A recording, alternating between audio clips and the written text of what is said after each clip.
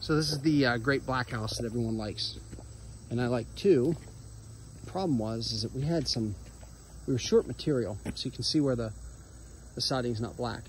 We've reordered it. It's taking forever to arrive because it's special order and because of all the logistical problems that we have with everything right now.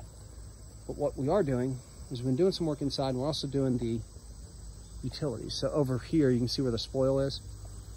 That's where they're putting the, uh, the utilities. There's one ditch that's going down over here. You can see it down through the woods there. And they're working on it now.